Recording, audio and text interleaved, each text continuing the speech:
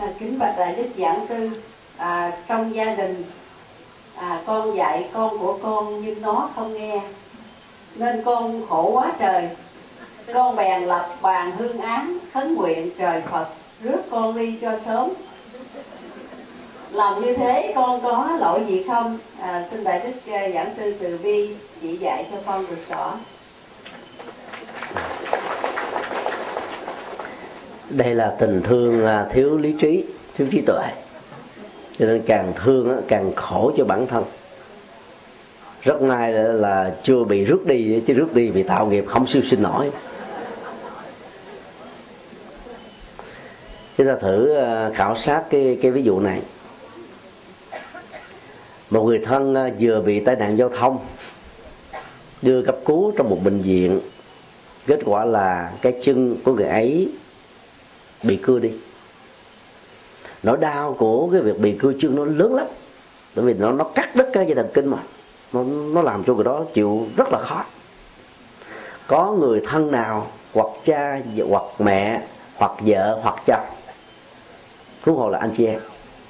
Khi thấy như thế, muốn muốn có một cái đồng cảm về nỗi đau, dám chặt cái chân mình tương tự không? Chắc hẳn là không. Và nếu có, người đó cũng hơi bị mạnh mạnh hoặc là người thân của mình bị ung thư trong giai đoạn cuối, vào trong đó ta thấy người đó khổ quá.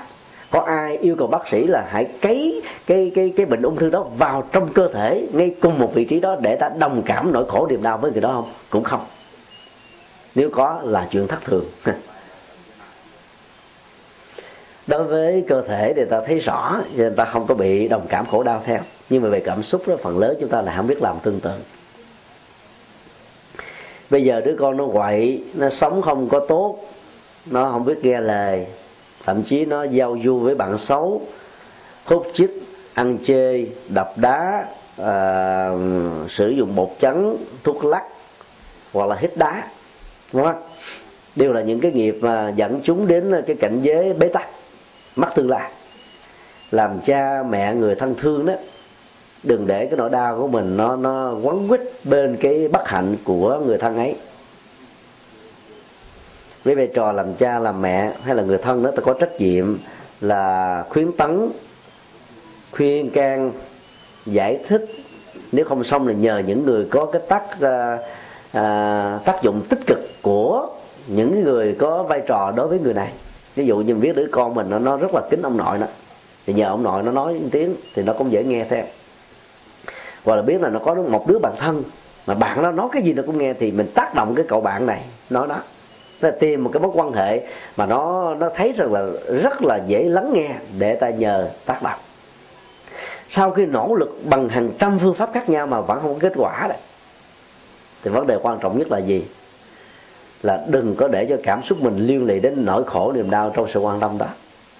Như ta làm bằng trái tim, bằng tấm lòng, bằng phương pháp, bằng trách nhiệm nhưng đừng để cảm xúc của mình bị đau theo.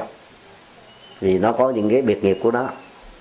Để cho biệt nghiệp giáo dục nó thời gian là nó tự mở mắt tỉnh thức thôi. Là lúc có những người thích như thế hoặc phải rơi vào hoàn cảnh như thế thì mới thoát ra khỏi khỏi nỗi đau.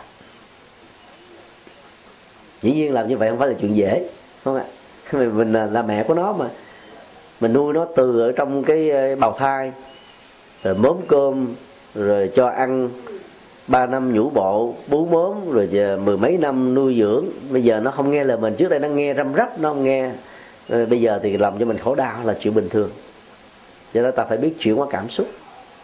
Làm hết tất cả trách nhiệm rồi mà nó vẫn hư. Nó không phải là lỗi của mình đó mình không có bị bất cứ một cái ảnh hưởng tiêu cực nào về nhân quả đối với nó hết đó. nó hư, nó chịu thôi.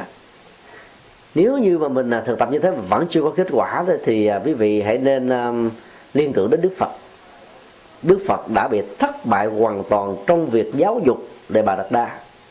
Anh em gần như là máu mủ của ngài, cũng là đệ tử của ngài.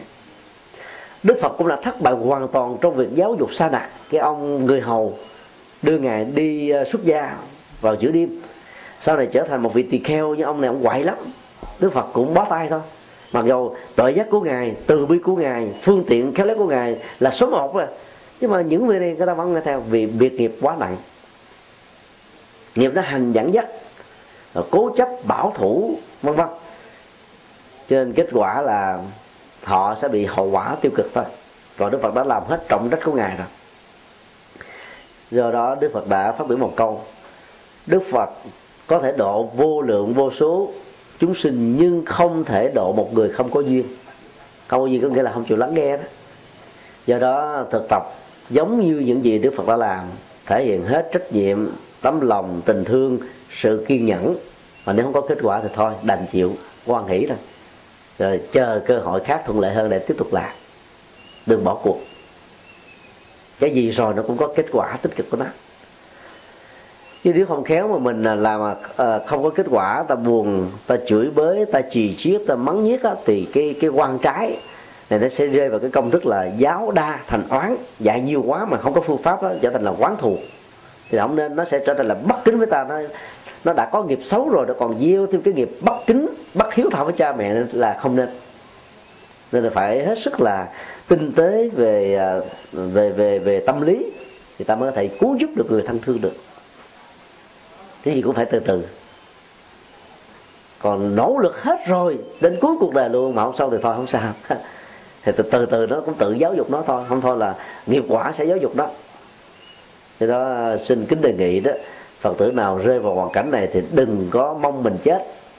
Chết lãng sạc như thế không có ý nghĩa gì hết trơn không ai nhớ đến mình mà mình chết xong rồi mình còn đem cái hệ lụy khổ đau cho những người thân thương còn lại nữa.